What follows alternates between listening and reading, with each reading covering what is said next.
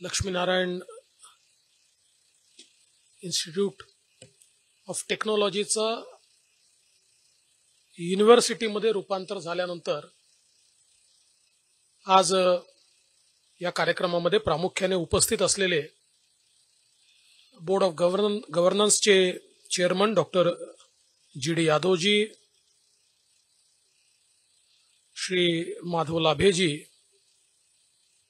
ज्यांनी अतिशय सुंदर इन्क्युबेशन सेंटर या ठिकाणी बनवलं ते लोकसारंग हरदासजी श्री राजू मानकरजी उत्कर्ष खोपकरजी माझे मित्र मोहन पांडेजी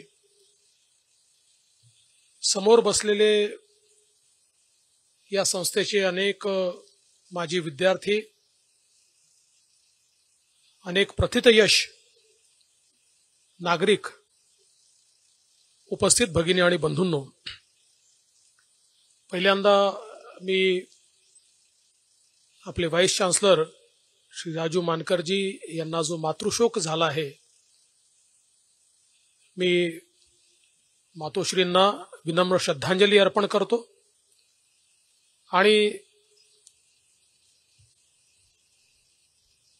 या दुःखातनं सावरण्याची शक्ती ईश्वर त्यांना देव अशा प्रकारची ईश्वरचरणी प्रार्थनाही करतो. आज मला या गोष्टीचा आनंद आहे की आपल्या सर्वांना ग्लोबल मीट मीटमध्ये जो शब्द मी दिला होता तो या ठिकाणी पूर्ण झालाय.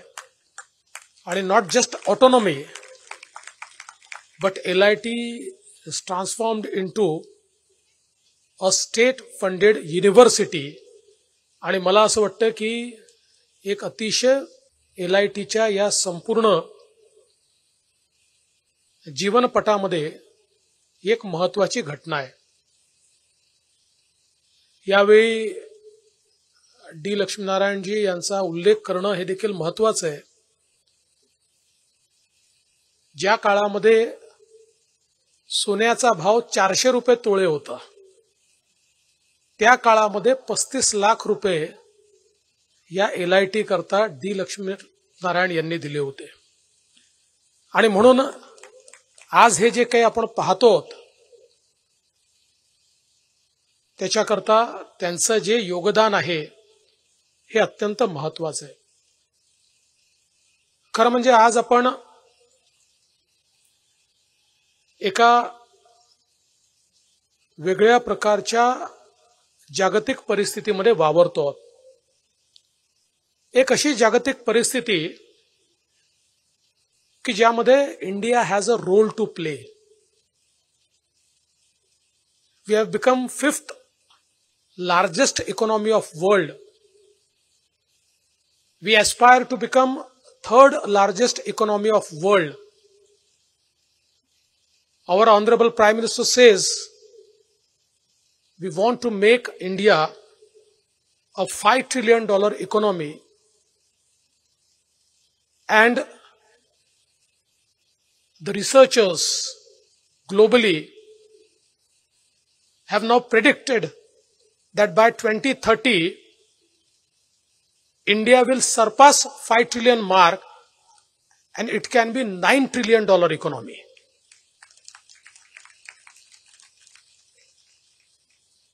and what is going to drive this entire process? It is technology and innovation that is going to drive the process. We all know that technology is a force multiplier.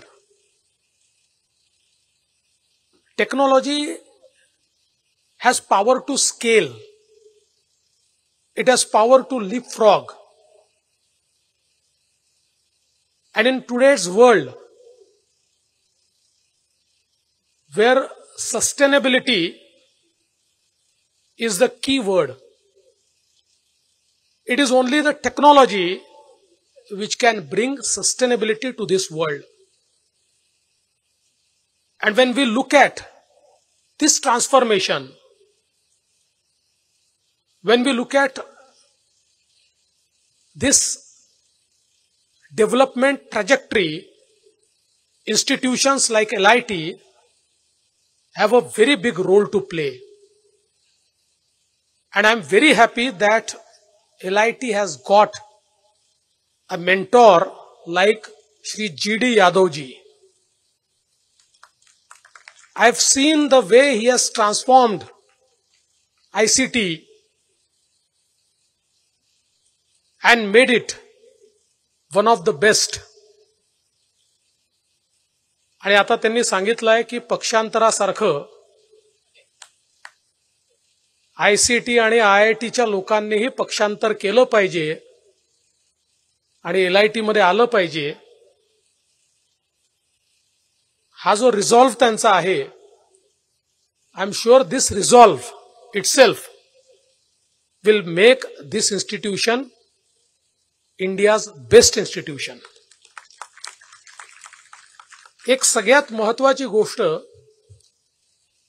मी या ठिकाणी सांगू इच्छितो की मी अनेक संस्थांमध्ये कार्यक्रमाला जातो अनेक वर्षापासून जातो. आणि प्रत्येक व्यक्तीला आपण ज्या संस्थेत शिकलो आहोत त्याच्याबद्दल आपुलकी असते प्रेम असतं जिव्हाळा असतो. पण जी कमिटमेंट ही मी एल आय टीच्या अल्युमनाय असोसिएशनमध्ये बघितली. ही खरोखर इतर सगळ्या संस्थांपेक्षा वेगळी आहे.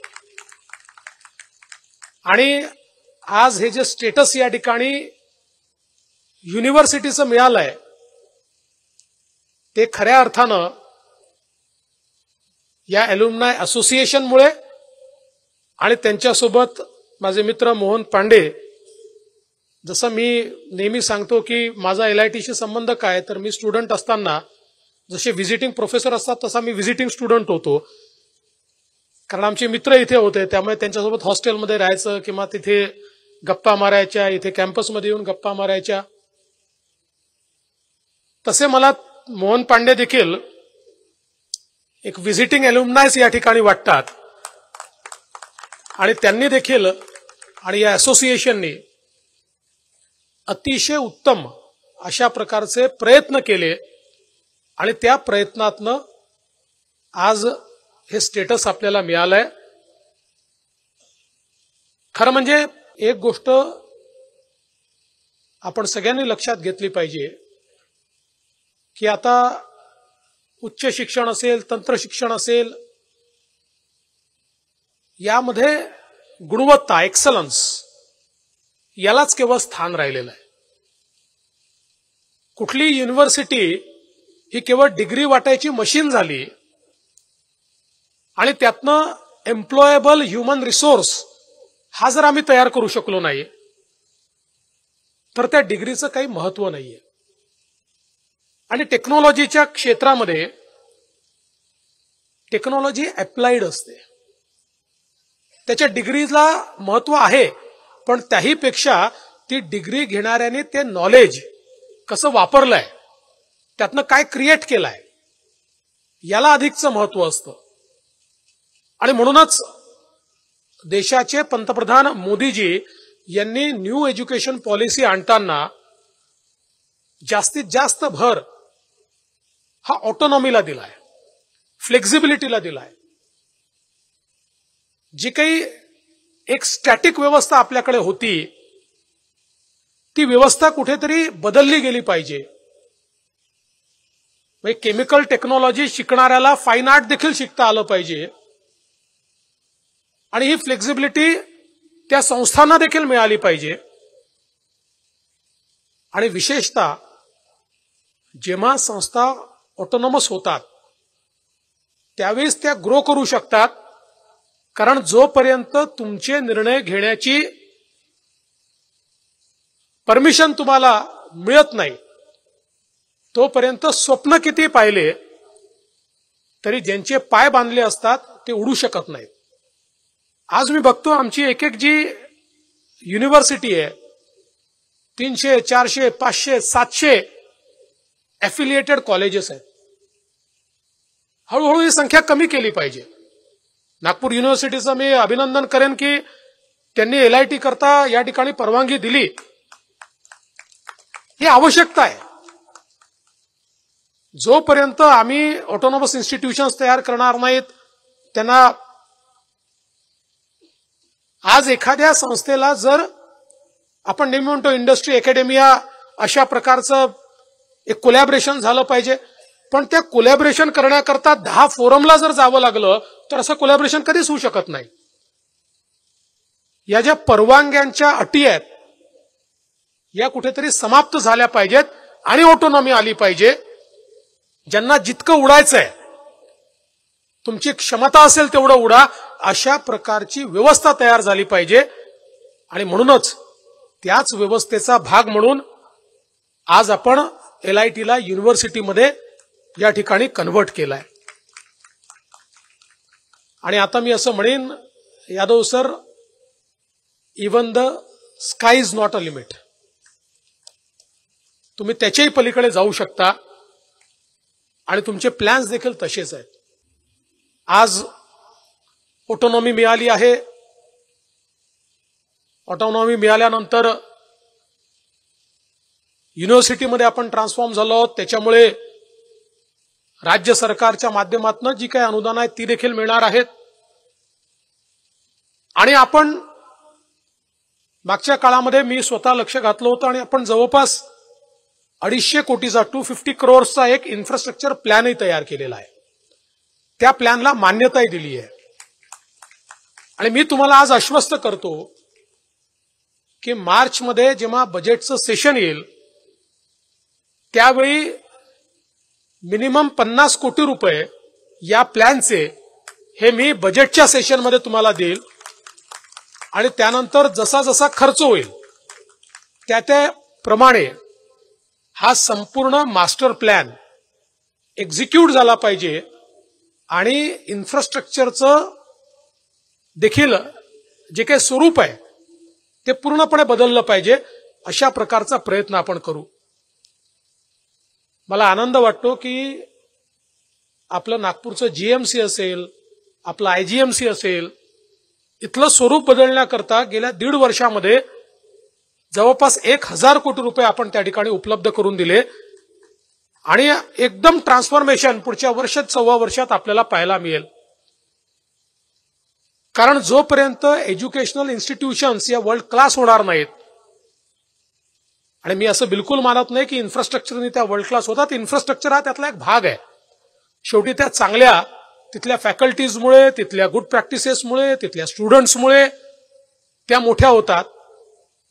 पण त्यात एक इन्फ्रास्ट्रक्चरचा निश्चित रोल आहे. आणि म्हणून ते देखील अतिशय उत्तम या ठिकाणी आपण तयार करू. खरं म्हणजे मला असं वाटतं की येत्या काळामध्ये एक प्रीमियम इन्स्टिट्यूशन म्हणून या इन्स्टिट्यूशनकडे आपल्याला निश्चितपणे पाहता येईल. आणि लोकसारंग हरदास असतील किंवा अल्युमनाय कम्युनिटीचे इतर जे लोक असतील त्यांना आव्हान केलं आहे यादव सरांनी. मला विश्वास आहे की एकदा ट्रान्सफॉर्मेशन होत आहे असं लक्षात आलं की लोक त्याच्यामध्ये निश्चितपणे मदत करतात. आणि ती मदत तुम्हाला मिळेल. आणि हळूहळू पूर्णपणे इंडस्ट्रीसोबत टायअप करून centre of excellence centre of innovation याच्या माध्यमातनं स्वयंपूर्णतेकडे आपल्याला कसं जाता येईल हा प्रयत्न आपल्याला करावा लागेल. आज अतिशय सुंदर इन्क्युबेशन सेंटर हे या ठिकाणी तयार झालेलं आहे. आज आपण ज्या प्रकारच्या व्यवस्थेमध्ये आहोत त्या व्यवस्थेमध्ये इन्क्युबेशन हे अत्यंत महत्वाचं आहे. कारण आज टेक्नॉलॉजीने आपल्याला अशा प्रकारची व्यवस्था निर्माण केली आहे की तुम्ही जो विचार करता जिथपर्यंत तुमचा विचार जाईल त्या विचाराला प्रत्यक्षात उतरवता येतं. फक्त त्याच्याकरता इन्क्युबेशनची व्यवस्था लागते. आज आपण पाहतोय जी स्टार्टअप इकोसिस्टीम आपल्याकडे तयार झाली आहे. आणि परवाच आउटलुकने एक सर्व्हे दिला आणि त्या सर्व्हेत सांगितलं की आता स्टार्टअप कॅपिटल बंगलोर नाही स्टार्टअप कॅपिटल हैदराबाद नाही स्टार्टअप कॅपिटल इज महाराष्ट्र. आणि we are way ahead of every other destination आणि मग अशा प्रकारच्या या इकोसिस्टीममध्ये हे जे इन्क्युबेशन्स आहेत ते अत्यंत महत्वाचं काम करतात.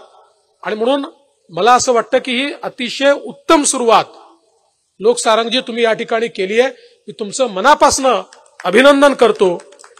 आणि मी आज ज्या ज्या लोकांचा सत्कार झाला ज्यांनी ज्यांनी एल आय टीच्या वाटचालीमध्ये ते गुरुजन असतील ते मेंबर्स ऑफ एल्युमनाय कम्युनिटी असतील ते प्रथित यश बिझनेसमन असतील अशा सगळ्यांचा मी मनापासनं या ठिकाणी त्यांचं अभिनंदन करतो. आणि अशाच प्रकारे वेळोवेळी आपण आम्हाला निमंत्रित करत राहा. आम्ही येत जाऊ. फक्त कार्यक्रम थोडा छोटा करूया. पण निश्चितपणे आजच्या या कार्यक्रमाला बोलवल्याबद्दल मी आपले मनापासून आभार मानतो आणि माझे दोन शब्द संपवतो. धन्यवाद. जय हिंद.